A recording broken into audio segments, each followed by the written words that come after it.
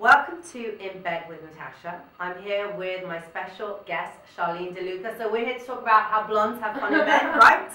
exactly. Good morning, actually, Good yeah. morning. And oh, how blondes have fun in bed with shoes because my next guest here today is fabulous, young shoe designer. I say young because you are 26. 26. Oh my god, thank Yes. God, because I was only 24. but I mean, you've had so much experience so far and for such a young age, and you've been traveling a lot as well. Yes, I love to travel. Like traveling is my Okay. biggest uh, passion after shoes because shoes are Yeah. the first love.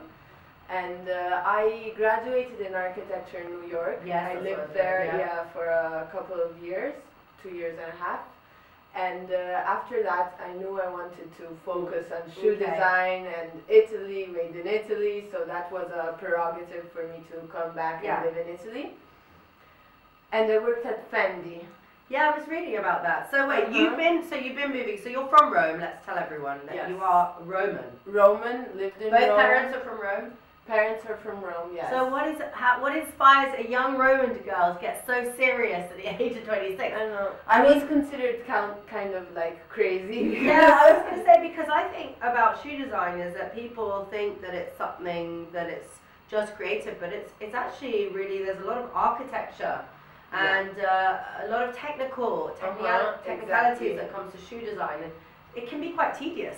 exactly. I honestly, this was a big surprise. I knew Yeah. it would have been like a very tedious thing and a very uh, like time-consuming uh, job, but I never would have thought that it actually demands this amount of uh, attention Absolutely. and preciseness, and there can't be a single thing that goes wrong on a shoe. Yeah.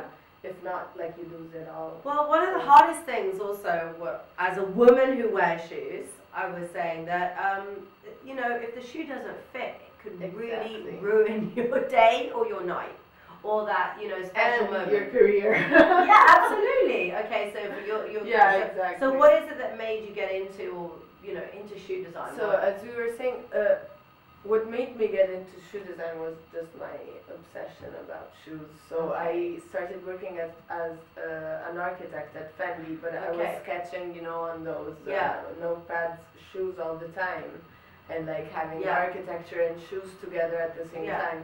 So one day I have lunch with the um, shoe designer director at Fendi.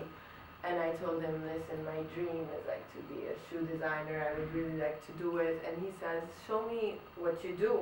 Yeah. And. I show him like my sketches. Like in th- three days, Yeah. I was drawing all the shoes like pretty and having my, No, my wow. yeah my book because I didn't like my sketches were really small sketches. And he was like, I think you should really try and take this path and uh, have this adventure. So I decided. They offered me like actually a good job at Fendi Yeah. with a contract and everything, Yeah. but I decided to to Just to make on your own. there, yeah, and um, it's quite hard though, being so young and you know starting out in a city like Rome, which isn't Milan, which isn't a fashion Mhm. capital. I mean, even though there are a few brands like Fendi, Yeah. Gucci, Brioni that are based there, but still, I mean, why did you not think, having lived in New York, having lived in London, why did you not think, oh, I'm going to go to Milan or New York or London? honestly, um, Rome is the city I travel all the time, as you can imagine. So I'm Yeah. in New York, I'm in uh, Milan, I'm in Paris. I my actual work is based out, off of Milan, so all my press team and my Yeah. sales team are all in Milan.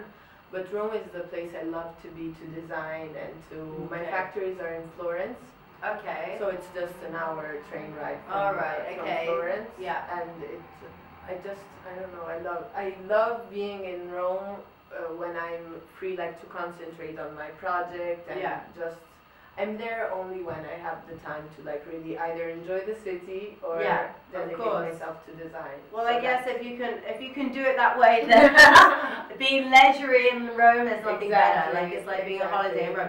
So tell me about the brand. When you started designing shoes, oh, did you ever think, okay, I want to be a shoe designer because I know what women want, or I know what know, how women went to So I started by from the idea that what I knew and what I had studied for all my life was architecture and design. Yeah. So geometries and all these uh, So I structures guess we see that a lot more from these kind of shoes. Yeah. and the, the way you design um, uh, an architecture project is that you start from a concept and Yeah. then you develop it and apply it on a building, on a room, on a on an architecture piece.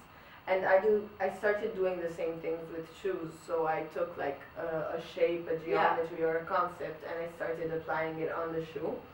And this, for example, is a very structured architectural piece, and it's been my signature heel since Yeah. I started, and it's been my best-selling piece and Yes. the most covered. Is it comfortable? it is comfortable because the challenge here was uh, having like the weight centered, obviously not in the place where the cut is, but Okay, so how does here. that work? So okay, so is that why you have this cut then? yeah. So this doesn't doesn't make a difference. Like the cut doesn't make a difference in balance balance wise or okay. or comfort wise because it's this point here it- is Yeah. the point where the whole weight of the body like uh, is Okay. um, is So Charline, have you spent a night out partying in yes, the shoes? many nights. How many hours can you go You have the to shoe? spend one of your nights. I know exactly. I need to try and test it, basically. Yeah, you have to. Okay, if. I try and test it, if I come back and my shoe, feet don't hurt, then I'm like, okay, I'm gonna be buying into this shoe. But I suppose it's got a plateau inside Yes. as well, though. There's a small plateau inside of a centimeter. But it's high. That's like, a, is that 13? What is that? Uh, 12? no, this is an 11. Oh, 11, But the okay. pitch is only 95, Okay. All right then. so it's it's a, really you have to try Okay. it. It's not bad. no, no, no, no. I'm not saying it's bad at all. It looks great. Trust that's me. for sure. It looks fabulous. And from that, I started developing uh, new heels and new structures. So this, for example, is uh, more of a block heel with a blade on the back. Yeah. So still at the same time very geometrical and very architectural, let's say in a way. But uh, since the last collection, I wanted to challenge myself more and bring more femininity into the collection, like always keeping very geometric shapes and very geometric lines. So that's hence this shoe here. Exactly, and this collection was inspired to the world of the performing arts, so Okay. burlesque, uh, can-can, Okay. music, All right. everything in performance. So I started to have some more fun. Girl Okay. fun. So now you're having more girl fun. Yes, exactly. So what's happening now? What's as a young designer? I mean, what's your next projects? I mean, and what is what's the future as a young designer living in Rome, young shoe designer? How difficult is it to get into the market? How difficult is it to compete with these big brands? Because there's so much Yeah. emergence right now. It's a really hot moment Exactly, here in that's the thing. The thing is, I think that it's a very hot time for emerging designers. Yeah. So the market is uh, very competitive. It's not Yeah. like before. Maybe if there were two or three emerging designers, they everyone had their own space. Yeah. Like here, you need to carve your section of the market So, out. but who is the Charline De Luca woman? Who wants to buy a Charline De Luca shoe instead a Fendi shoe? for instance? I mean, a know. cool, young, a younger Yeah. customer than the Fendi customer, definitely, and uh, um, a woman that wants to feel, let's say, empowered, and a very strong woman that wants to do something different.